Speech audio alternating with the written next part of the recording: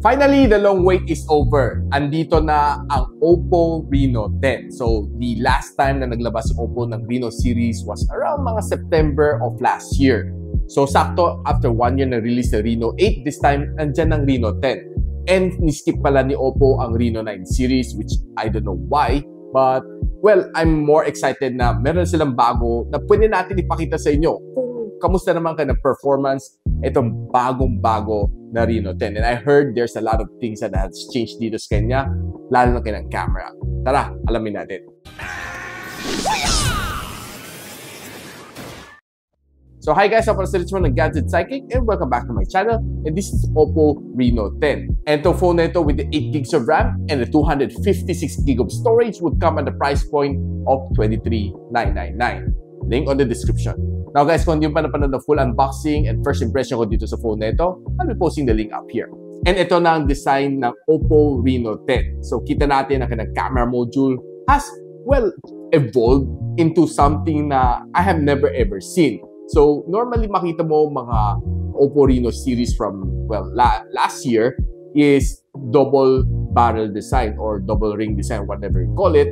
This time, iniba nila ginawa nila medyo stand out para alam natin na pag mo to phone nito, you're holding a Oppo Reno 10. So apparently, there's three phones na nilabas tong series nito, si Oppo Reno 10 5G, Oppo Reno 10 Pro 5G, and Oppo Reno 10 Pro Plus 5G. And I hope na ma-review ko the other two for you guys. And don't forget to subscribe para ma-notify kayo once na in-upload ko yung dalawang video na yun. Now, I would say na ito phone na ito is very sleek. It is only around mga 180 grams, which for me is very light for a phone like this.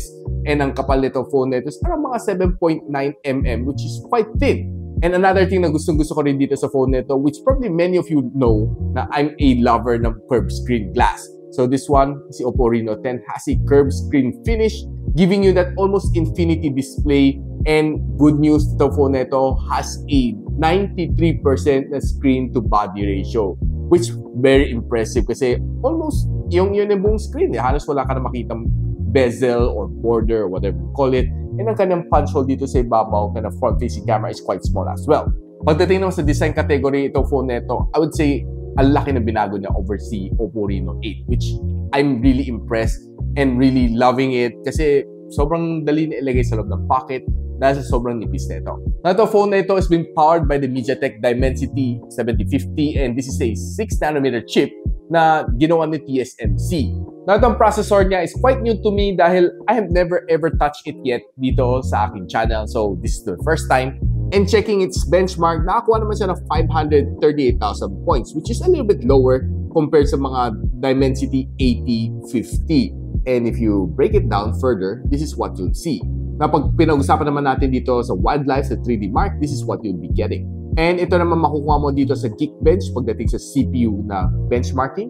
And ito naman makukuha mo pagdating naman sa benchmarking ng GPU. Na pagdating naman sa kanyang throttling test, ito naman nakuha natin. As you can see here, is almost all green, but meron sudden drop lang siya after 5 minutes and it was able to throttle to 87% ng kanyang maximum performance. Which I believe is quite okay kasi anything above 80 is quite good.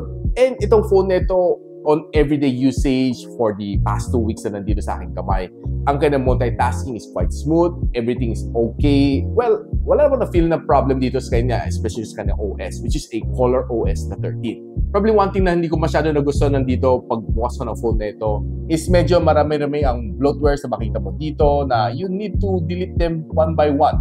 Now, ito phone na ito is sporting a 6.7 inch na AMOLED display na may curved screen. And ang protection nito is not a Corning Gorilla Glass but something na 20% better than a Corning Gorilla Glass. It's called the ACG Dragon Trail Star 2. Sabi nila, this glass is more tougher, can resist up to 20 times better yung drop resistance compared kay Corning Gorilla Glass 5. But di ko naman sinabi na ilaglag mo itong phone na ito just to try.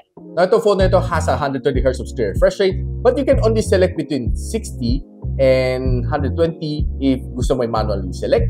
But you can also put it to auto mode. And another good thing na gusto ko rin dito sa kanya is 915 nits ang kanyang maximum brightness. So meaning when you're under the bright sunlight, kayang-kaya mo mabasa lahat na naka-display dito sa phone nito, which I have tried and I would say na no problem.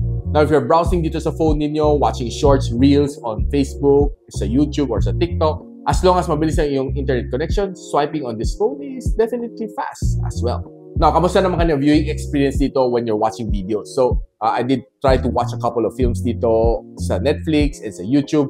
And what's nice din dito sa kanya is ang ganda ng kanyang display. Dahil sa kanyang AMOLED display, then yung kanyang curved glass is giving you that borderless or bezel-less na display na parang very cinematic ang dating dito sa phone nito. If you're watching mga basketball games, you're watching mga Korean novela dito, I would say enjoy na enjoy ang buong barkada, buong pamilya. And this is something that you would love to have your pocket anytime na gusto mo manood ng your favorite shows.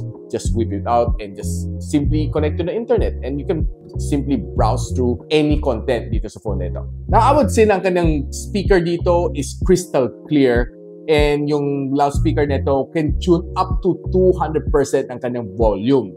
Ito, pakinggan muna natin.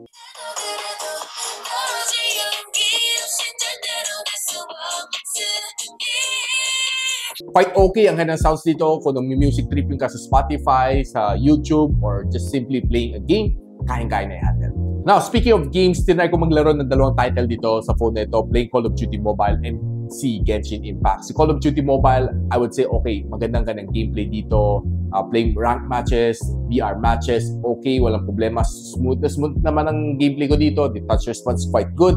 The sounds is okay. And the game is quite enjoyable. Halos wala mo na feel the frame drops along the way. And playing the game Tower Fantasy, even setting it on all high settings, I would say that this game, mafe-feel mo na meron talaga siya mga frame drops along the way dahil this is a little bit more graphical intense game, just like Genshin Impact. Pag naglalaro ka medyo matagal dito sa game na ito, yung feel na medyo uminit sa likod. And yung pinaka mainit na na-achieve ko dito sa phone na ito is around mga 45 degrees Celsius, which I think you might need to have a phone cooler for it to cool down faster. But at the end of the day, itong phone na ito is more geared towards the camera performance, not too much on gaming. Itong phone na ito has a 5,000 mAh of battery which is quite a industry standard naman. Hindi naman siya something special but this one can fast charge up to 67 watts na super quick charge. So charging from 10 to 100, nagtapos na naman tayo in just 42 minutes to complete the full charging cycle. Ito phone na ito, tinest ko naman siya on the day-to-day -day basis and kaya naman na magbigay siya ng at least 10 hours of screen on time. And if you're using this one normally, I think one whole day walang problema, kaya na magtagal ng isang buong araw na hindi mo kailangan mag-charge. Now, pag-usapan naman natin ngayon is the highlight nito phone nito which is the camera. And si Oppo Reno series is more about the camera performance.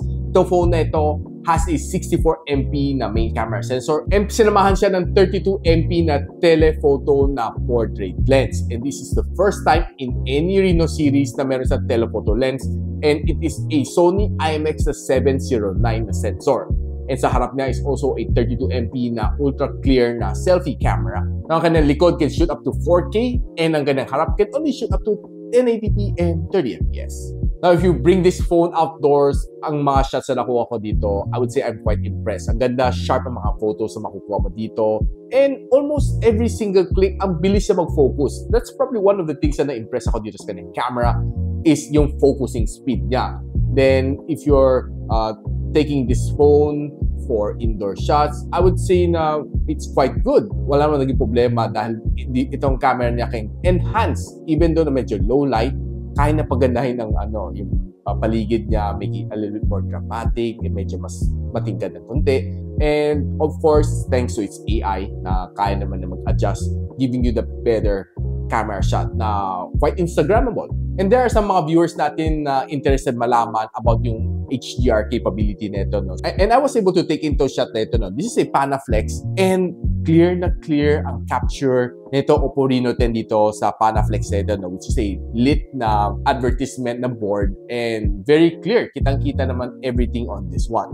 And taking some zoom shots, itong phone nito, I would say maganda rin ang kanyang performance dahil, of course, say Sony IMX709, I don't expect anything less. So, taking some of the zoom shots is definitely good.